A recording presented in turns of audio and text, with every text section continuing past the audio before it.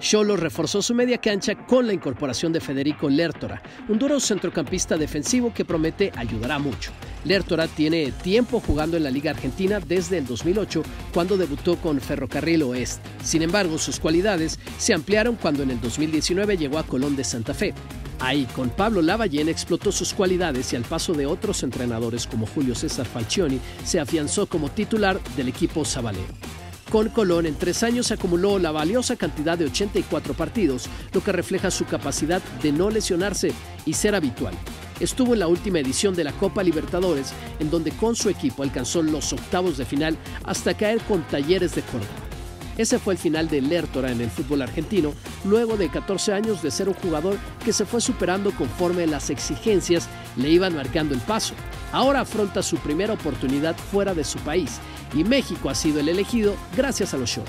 Por lo pronto, en la fecha 3 del torneo tuvo un buen debut ante los Tigres al mover la cintura del equipo y dificultar las acciones del rival. Lertora promete recoger los viejos frutos que en su tiempo dejaron centrocampistas de época como Guido Rodríguez o Cristian Pellerano, quienes tras exitosos pasos en la frontera emigraron a otros equipos e incluso a otros continentes. En resumen, los Cholos apuestan y amenazan con acrecentar su plantel con jugadores como Lertora que pueden hacer época en el fútbol mexicano. Recuerda suscribirte a nuestro canal y ver los videos que tenemos para ti.